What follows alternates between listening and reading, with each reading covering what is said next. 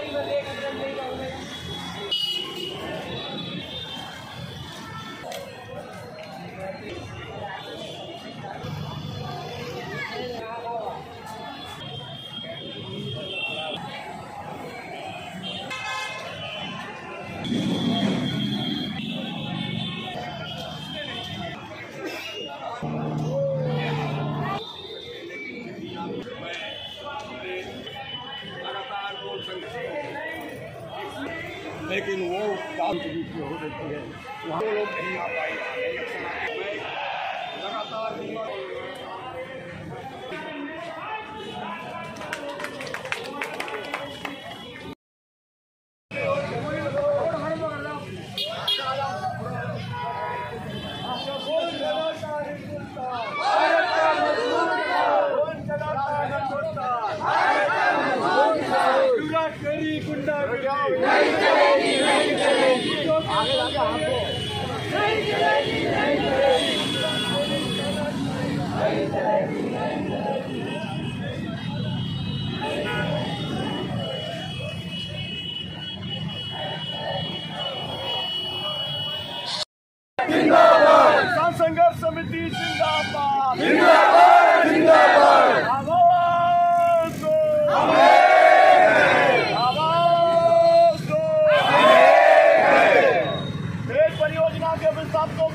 पुनर्वास करना होगा करना होगा छिंदवाड़ा के विस्थापितों का संपूर्ण पुनर्वास करना होगा करना होगा करना होगा शिवराज सिंह होश में आओ होश में आओ होश में आओ किसानों से मत टकराओ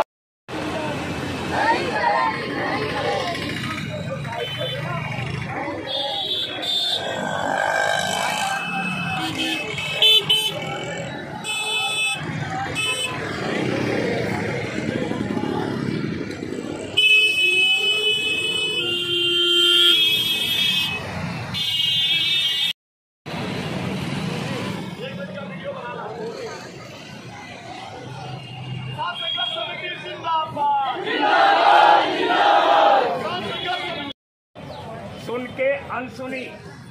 कर रही है। चाहे वो किसान का मामला हो, मजदूर का मामला हो, और इन सरकारों से उम्मीद करना भी मूर्खतापूर्ण कदम होगा, क्योंकि ये वर्तमान सत्ता सुनील साहब, जनक राठौर साहब, अखिलेश यादव जी भगवत परिहार जी, प्रमोद प्रधान साहब, जसविंदर सिंह साहब, प्रहलाद दास बैरागी जी, एवं हमारे रीवा से आए संयुक्त किसान मोर्चे के नेता इंद्रजीत सिंह जी, भाई प्रदीप जी, भाई संत जी, भाई अभिषेक जी भैयालाल त्रिपाठी जी, एवं समस्त टीम। साथियों, लगातार दो तीन वर्षों से देश के अंदर किसानों की समस्याओं को लेकर आंदोलन चल रहे हैं, जिसकी अगुवाई देश भर में संयुक्त किसान मोर्चा कर रहा है। साथियों, हमें आदेश हुआ था संयुक्त किसान मोर्चे का कि 22 सितंबर को रीवा के अंदर प्रादेशिक अधिवेशन होगा।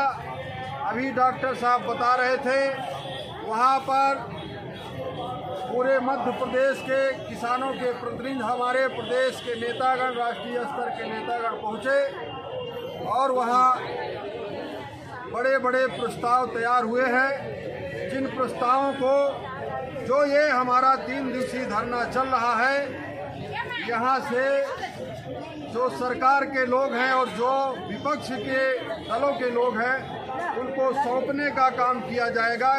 कि वो हमारी बात को अपने अपने पार्टी के एजेंडे में शामिल करें? लगातार ये तीन दिन तक हमारा आंदोलन चलेगा, धरना चलेगा। साथियों, सबसे जो प्रमुख मुद्दा है इस देश का, वो नंबर एक एमएसपी की गारंटी का मामला है। और दूसरा जो आज सबसे बड़ी समस्या देश के अंदर विकराल रूप धारण की है, जिससे पूरे देश का आवाम पूरे देश का किसान पीड़ित और परेशान है, वो है आवारा पशुओं की समस्या। एक भी फ़सल किसान की नहीं बच रही है। हमारे रीवा संभाग के अंदर 50 फ़ीसदी भी किसान ने फ़सल नहीं बोया, क्योंकि बड़ी समस्या है। उसको रात के खेतों में जग करके फ़सल बचाना पड़ रहा है। ये बड़ी समस्या आज देश के अंदर तैयार है। दूसरा जो हमारे स्थानीय मुद्दे हैं, वहाँ के सुअर पशुपालकों का मुद्दा है, जिसके संबंध में डॉक्टर साहब ने हमारे प्रदीप भाई स्पष्ट रूप से रख चुके हैं।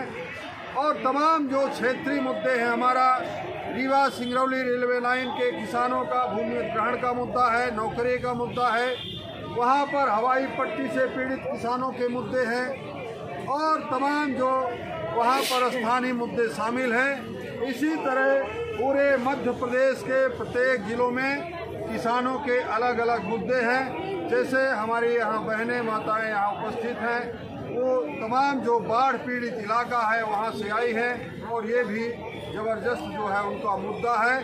तो इन सारे मुद्दों को लेकर के आज हम लोगों का यहाँ दो अक्टूबर को धरना शुरू हुआ है। ये निरंतर चार अक्टूबर तक चलेगा। और यहाँ से हम आगे की ओर, चूँकि आचार संहिता लगना है, हम सरकार को बताने आए हैं कि सरकार हमारी जो प्रमुख समस्याएँ हैं, उनको एजेंडे में शामिल करे, हमारे मांगों का मांगों का निराकरण करे, और जो विपक्षी दल हैं, वो हमारे हमारी जो प्रमुख मुद्दे हैं अपने पार्टी के एजेंडे में शामिल करें, घोषणा पत्र में उस बात को रखने का काम करें। इन सारे मुद्दों को लेकर के हम लोग यहाँ विरोध प्रदर्शन के लिए बैठे हैं और जो जैसा आगे दिशा निर्देश होगा, संयुक्त किसान मोर्चा संभाग रीवा इकाई लगातार बढ़ चढ़ के आगेदारी करेगी। इसी के साथ मैं अपनी बात समाप्त कर रहा हूँ। साथियों, जय जवान, जय किसान।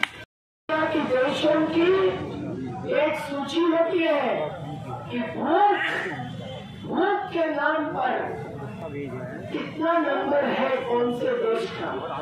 तो भारत भूख से आधार पर सबसे ऊँचा है और भूख मिटाने के नाम पर सबसे नीचा है। एक बाजू कहते हैं कि हम करोड़ों रुपए खर्च कर रहे हैं। नया संसद भवन बनाते हैं। हमारी जानकारी से तो उसका ठेका बाईस हज़ार करोड़ का था। जब बनाया, अहमदाबाद के विमल पटेल जी नाम के आगे